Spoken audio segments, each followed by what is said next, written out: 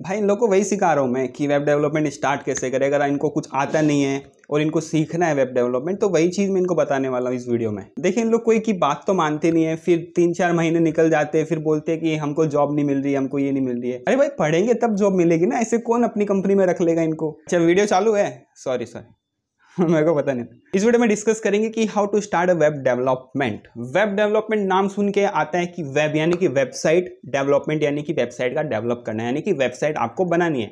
तो किन किन चीज़ों से आप वेबसाइट बना सकते हो और क्या क्या आपको पढ़ाई करनी है, सारी चीज़ें इस वीडियो में डिस्कस करेंगे। तो वीडियो को मेरे भाई पूरा देखना। पहली चीज़ मैं बता देता हूँ वेब डेवलपमेंट मीन्स लोगों की ऑनलाइन दुकान बनाना या बिज़नेस बनाना। जिस तरह लोगों के पास ऑफलाइन दुकान है, ऑफलाइन राशन की दुकान है, क्लिनिक है, सैलून है, ये सारी चीज़ें ऑफलाइन है। उसी तरह एक वेब डेवलपर ऑनलाइन लोगों की दुकान बनाता है, बिज़नेस बनाता है।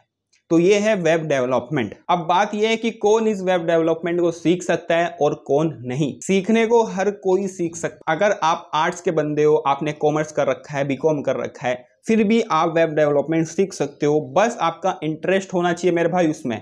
क्योंकि मेरे भाई, आज का जो टाइम है, वो ऐसा चल रहा है कि कोई आपको पास में बैठ के ये नहीं सिखाएगा कि हाँ बेटा, सीख ले सीख ले। वो जमाना नहीं है। आपको सारी चीज़ें अपने आप से खुद से करने की, हर एक चीज़ आपको खुद से सीखनी पड़ेगी। कोई नहीं सिखाएगा आपको आके कि ये ये चीज़ सीख लो आप। इससे पहले भी मैंने एक दो वीडियो बनाई थी, मैं, मेरे ख्याल से आपने देखी है नहीं, देखी मेरे को मालूम नहीं। उस वीडियोस का प्लेलिस्ट आपको आई बटन में मिल जाएगा तो वीडियो ज़रूर देख लेना। इस वीडियो में हम डिस्कस कर लेंगे अगर आप कंप्लीटली फ्रेशर हो आपको कुछ नहीं पता वेब डेवलपमेंट के बारे में। मैं, मैं मान लेता हूँ कि आपको कुछ भी नहीं पता है। हाँ कुछ लोग होंगे जिनको पता है कि वेब डेवलपमेंट क्या है क्या क्या हमको पढ़ना चाहिए ये वो। पर मैं मान के चलता हूँ कि आपको कुछ नहीं पता है आप कंप्लीटली ब्लैंक हो। मैं पूरा आपको ज़ीरो से बताऊँगा कि आप किस तरह से स्टार्ट करोगे एक वेब डेवलपमेंट की जर्नी अगर आप कॉमर्स से हो आर्ट से हो साइंस से हो वो चीज़ अलग है। पहली चीज़ है कि आपका इंटरेस्ट है क्या? आपको पता है क्या वेब डेवलपमेंट क्या है? और इसमें किस तरह से आपको सर्वाइव करना है आने वाले सालों में। तो ये चीज़ें पहले आपको अपने माइंड में रखनी है, तभी इस चीज़ को आपको स्टार्ट करना है। तो वेब डेवलपमेंट के कुछ पिलर्स है, जिसमें जो पहला पिलर है वो है H T M L H T M L is a hyper text markup language मैं आपको फुल फॉर्म नहीं बता रहा हूँ, मैं बता रहा हूँ कि हाइपर टेक्स्ट मार्कअप लैंग्वेज जो कि एक वेबसाइट का स्केलेटन बिल्ड करने में हमको हेल्प करता है ऑन द ब्राउज़र तो अगर आप वेब डेवलपमेंट सीखना चाह रहे हो तो सबसे पहले आपको अपना एच टी स्ट्रॉन्ग करना होगा। एच टी स्ट्रॉन्ग करोगे, उसके बाद आप मूव फॉरवर्ड करो दूसरे पिलर की तरफ़, वो है C S S H T M L C S S जब आपके एकदम पकड़ में आ जाएँगे, एकदम मज़बूत हो जाएँगे तो आप एक स्टेटिक वेबसाइट खड़ी कर सकते हो अपनी। अभी आपने स्टेटिक वेबसाइट तो खड़ी कर दी बट इस स्टेटिक वेबसाइट के अंदर कुछ फंक्शनलिटी ऐड करनी पड़ेगी। उस वेबसाइट को थोड़ा अट्रैक्टिव बनाना होगा डायनामिक बनाना होगा कि ताकि बटन पे क्लिक करने पे कुछ और क्रिएट हो।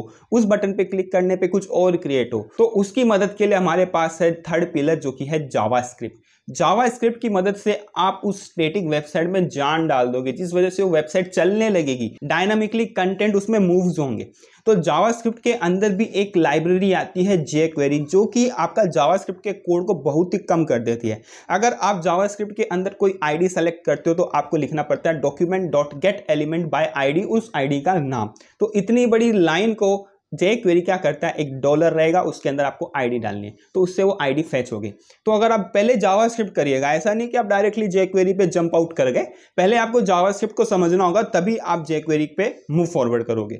तो ये हो गया स्टेटिक वेबसाइट, यानी कि आप एक फ्रंट एंड डेवलपर बन चुके हो। लेकिन हम बात कर रहे हैं वेब डेवलपमेंट की। वेब डेवलपमेंट के अंदर front end plus back end दोनों आ जाते हैं। तो फ्रंट एंड आपने कर लिया। अब बात आती है बैक एंड की। तो बैक एंड स्टार्ट करने के लिए आपको दूसरी लैंग्वेज पे स्विफ्ट होने की कोई ज़रूरत नहीं है।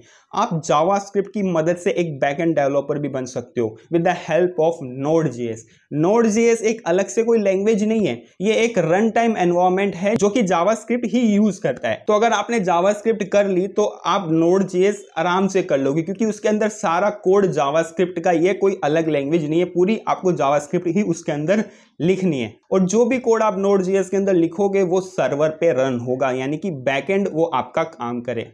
यानी कि वो एज अ बैकएंड आपका काम करेगा। तो जावास्क्रिप्ट की मदद से आपने फ्रंट एंड और बैक एंड दोनों कर लिया। अब आप बन चुके हो एक वेब डेवलपमेंट अब बात ये आ रही कि भाई, आपने हमें बता तो दिया कि ये पढ़ लो, ये पढ़ लो, बस इसमें टाइम कितना लगेगा? देखिए भाई, हर बंदे का अलग अलग लर्निंग स्पीड होता है। अगर मैं मेरी बात करूँ तो मैं इन सब चीज़ों में अगर डेडिकेशन के साथ दो महीने डालूँगा तो मैं आराम से सीख लूँगा। मैं ये कंप्लीटली फ्रेशर की बोल रहा हूँ। उसी तरह कोई बंदे होते हैं जिनको छः महीने लगते, किसी को आठ महीने लगते, किसी को एक साल लगता है और कोई समझ ही नहीं पाता है कि ये चीज़ क्या है। तो हर एक बंदे की अलग अलग थिंकिंग कैपेसिटी है लर्निंग स्पीड अलग अलग है। तो आप अपने हिसाब से सारी चीज़ें मैनेज करो कि मुझे इतने दिन में एचटीएमएल सीखना है, इतने दिन में सीएसएस सीखना है, इतने दिन में JavaScript jQuery and backend के अंदर नोट जेस में मेरे को इतना टाइम लगाना है। सारी चीज़ें को आप एक पेपर पे नोट डाउन करो और सबके आगे टाइम आउट लगाओ कि मुझे इतने दिन में ये चीज़ कंप्लीट करनी है मतलब करनी है। जब ये आपके कंप्लीटली हो जाए, फिर आप स्विच मारो एक प्रोजेक्ट के अंदर। क्योंकि कितना भी आप सीख लो, कितना भी आप स्विमिंग के बारे में सीख लो कि स्विमिंग हम इस तरह से तैरते हैं, हाथ ऊपर से ऐसे से डालते हैं, पैर को ऐसे से मारते हैं। लेकिन जब आप एक्चुअल में स्विमिंग करने जाते हो तो आप डूब जाते हो, आपके नाक में पानी चला जाता है। तो पढ़ना अलग है कि स्विमिंग कैसे करते हैं और एक्चुअल में स्विमिंग करना वो अलग चीज़ है। तो जब तक आप प्रैक्टिकली किसी चीज़ को नहीं करोगे तो आप बिल्कुल नहीं सीख पाओगे। आप चाहे कितना भी पढ़ लो, उम्र भर पढ़ लो, जब तक आप प्रोजेक्ट नहीं बनाओगे तो आप उस चीज़ को इम्प्लीमेंट नहीं कर पाओगे। तो जो भी आपने पढ़े हैं ना, उस चीज़ को इम्प्लीमेंट करो with the help of projects बना के। अब प्रोजेक्ट्स कौन से बनाए?